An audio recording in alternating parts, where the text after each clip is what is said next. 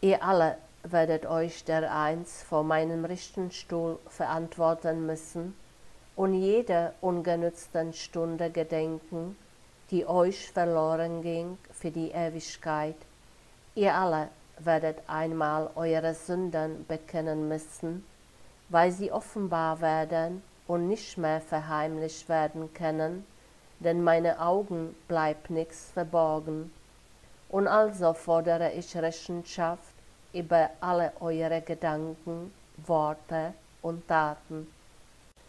Und dieses Tages des Gerichtes sollt ihr gedenken, wenn ihr glaubt, ungestraft sündigen zu können, des Tages, wo ihr alle zur Rechenschaft gezogen werdet, für euren Lebenswandel auf Erden.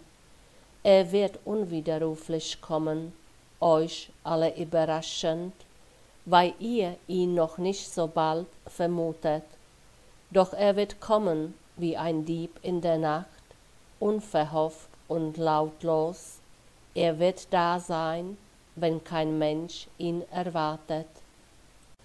Und dennoch nicht unangekündigt, denn lange zuvor schon weise ich die Menschen darauf hin, auf den Tag des Gerichtes, den Tag des Endes und der Vernichtung dieser Erde. Dass ihr Menschen es nicht glauben wollt, ändert nichts an meinen Plan von Ewigkeit. Denn dieser Tag ist vorausbestimmt nach meinem Willen, und Menschenwille wird ihn nicht hinausschieben können, sondern sich meinen Willen fügen müssen.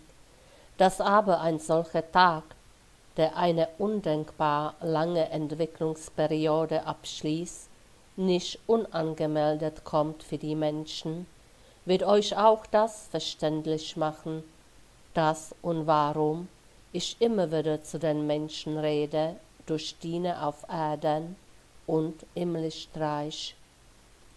Der Tag des Gerichtes ist der Abschluss einer Erdperiode, die den Menschen zur Erlösung bewilligt wurde. In dieser Entwicklungsperiode ward den Menschen eine besondere Verkünstigung zuteil. Der göttliche Erlöser Jesus Christus kam selbst zur Erde, um den Menschen beizustehen, die in ihrem Entwicklungsgang versagen wollten. Also konnten sich die Menschen erlösen, wenn sie nur wollten. Versagt aber ihr Wille, dann ist es eigene Schuld, und von dieser Schuld warne ich immer wieder die Menschen, solange sie auf Erden weilen.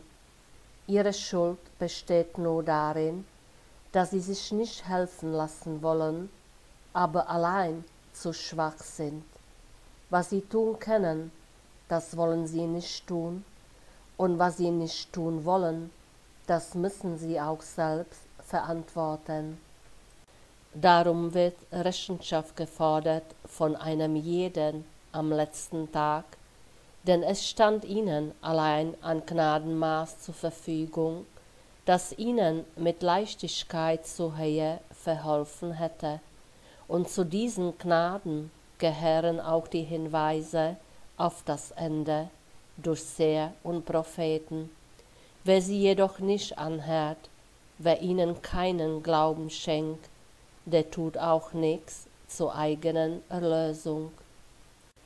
Immer ließ ich die Menschen durch Seher und Propheten ermahnen und warnen, und das schon oft angekündigte Ende der alten Erde macht das Auftreten von Propheten in meinem Namen verständlich, weil ich die Menschen nicht ungewarnt lasse und sie in der letzten Zeit leben, weil das Ende so nah ist, dass ihr alle erschrecken werdet, so ihr Tag und Stunde wüsstet.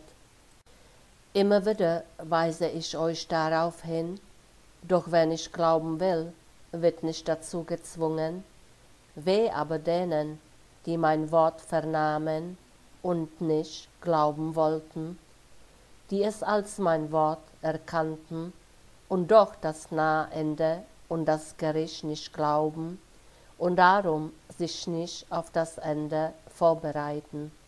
Weh ihnen, denn die Stunde wird sie überraschen und es kommt das letzte Gericht. Amen.